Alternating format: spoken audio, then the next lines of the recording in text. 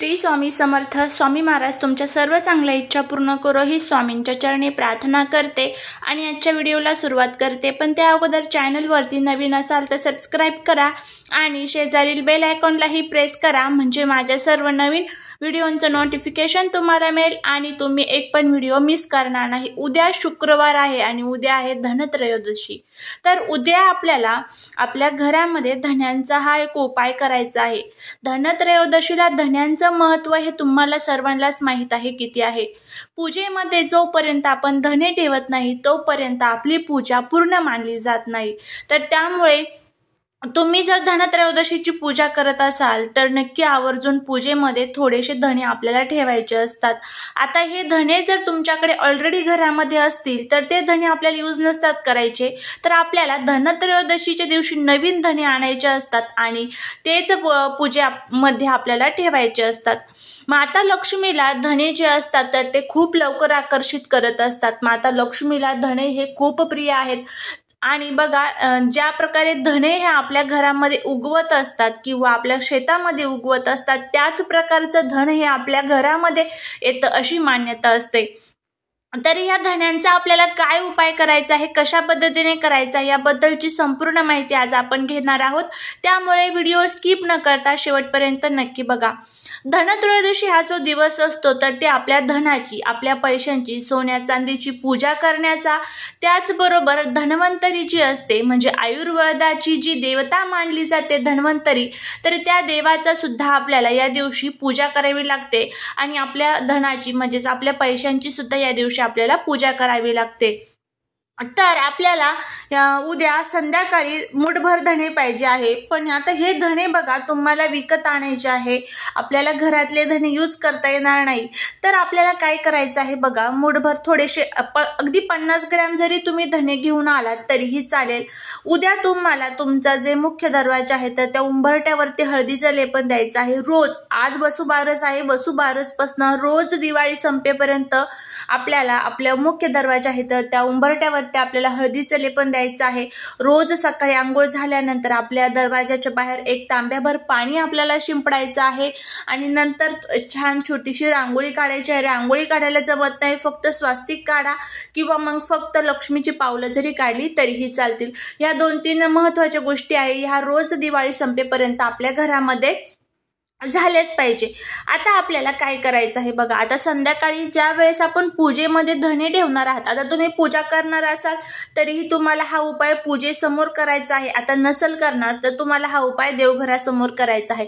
साडेसहा नंतरचा जो कालावधी असतो याला आपण प्रदोष काळ असे म्हणत असतो तर त्या कालावधीमध्ये आपल्याला हा उपाय करायचा आहे.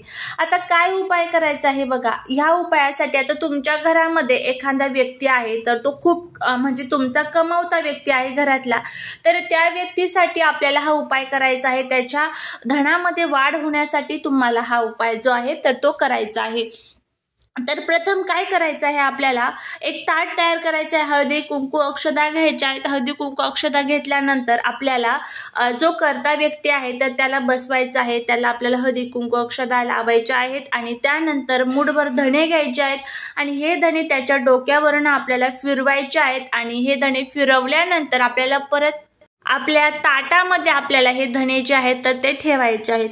त्यातले बरोबर सात धने आपल्याला काढून घ्यायचे आहेत. त्यामध्ये एक लाल कलरचा कपडा तुम्हाला घ्यायचा आहे.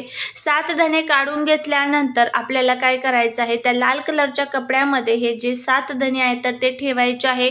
आणि त्यामध्ये आपल्याला एक रुपयाचं एक नाणं ठेवायचं आहे. त्यामध्ये आपल्याला तीन लवंग ठेवायचे आहेत. लवंग यात तुटलेल्या फुटलेल्या नसावा. आणि याची पोटली आपल्याला तयार करायची आहे. ही पोटली उद्या संध्याकाळी ज्यावेळेस तुम्ही उपाय केला त्यानंतर तुम्ही आता पूजा केलेली असणारच आहे. तर माता लक्ष्मीच्या समोर तुम्हाला ही जी पोट पोटली आहे तर ती ठेवायची आहे. माता लक्ष्मीच्या समोर ही पोटली ठेवल्यानंतर ही केवळ ठेवायची. अगदी पाच मिनटं ठेवा दहा मिनटं ठेवा एक तास ठेवा तुमची मर्जी. आणि तुम्हाला त्यानंतर ही म पोटली जी आहे तर ती उचलायची आहे. आणि त्यानंतर जो करता व्यक्ती आहे तर त्या करता व्यक्तीच्या पर्समध्ये तुम्हाला पॉकेटमध्ये वॉलेटमध्ये त्याच्या बॅगमध्ये तुम्हाला ही जी पोटली आहे तर ती ठेवायची आहे. आणि ही पोटली तुम्हाला पूर्ण वर्षभर त्याच्या बॅगमध्ये राहून द्यायची आहे. आता यातले धने जर तुम्हाला असं वाटलं की खराब व्हायला लागलेले आहे लवंग खराब व्हायला लागलेले आहेत तर नंतर ही तुम्ही पोटली पाण्यामध्ये विसर्जित केली तरी चालेल पण शक्यतो करून खराब होणारच नाही. जर वाटलंच खराब व्हायला लागलेले आहे तर नंतर प्र तुम्ही विसर्जित करू शकता.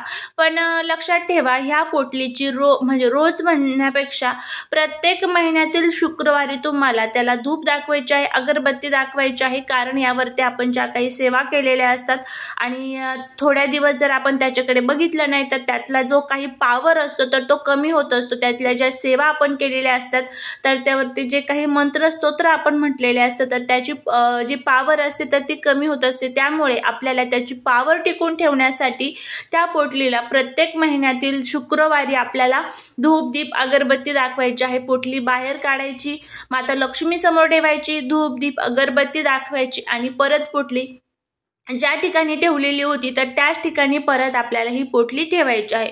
तर अशा पद्धतीने आपल्याला हा उपाय करायचा आहे. आता हे पण अगोदरच सांगते की जर तुमच्याकडनं प्रत्येक महिन्याला त्या पोटलीवरती सेवा होणार असेल तरच तुम्ही हा उपाय करा. कारण मग आपण एकदा उपाय करतो परत त्या गोष्टींकडे वे बघतच नाही आणि मग शेवटी आपल्याला पाहिजे त्या प्रकारामध्ये यशाची प्राप्ती होत नसते. असं करायचं नाही. कारण आपण ज्या सेवा करत असतो उपाय करत असतो तर ते वारंवार करावे लागतात. त्यावेळेसच त्या गोष्टींचा फायदा हा आपल्याला होत असतो. तर अशा पद्धतीने आपल्याला हा जो उपाय आहे तर तो करायचा आहे. ही पोटली जी आहे तर तुम्ही उद्या रात्रभर जरी माता लक्ष्मी समोर ठेवली आणि दुसऱ्या दिवशी जरी तुम्ही तुमच्या घरातला जो कोणता करता व्यक्ती आहे तर त्याच्या पर्समध्ये वॉलेटमध्ये ठेवली तरीही चालेल.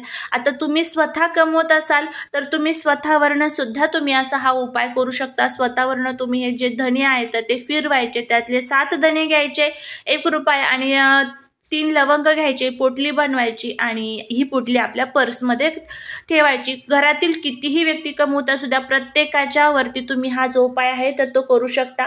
प्रत्येकावरनं धणे फिरवायची गरज नाही आहे एकदा एका व्यक्तीवरनं फिरावले आणि त्यातले प्रत्येक व्यक्तीच्या वॉलेटमध्ये आपण सात सात धने जरी ठेवले तरीही चालतील. तर अशा पद्धतीने आपल्याला हा उपाय करायचा आहे. नक्की आवर्जून करून बघा. नक्की तुम्हाला फायदा होईल. चालेली सेवा महाराजांच्या चरणी रुजू करते. श्री स्वामी समर्थ.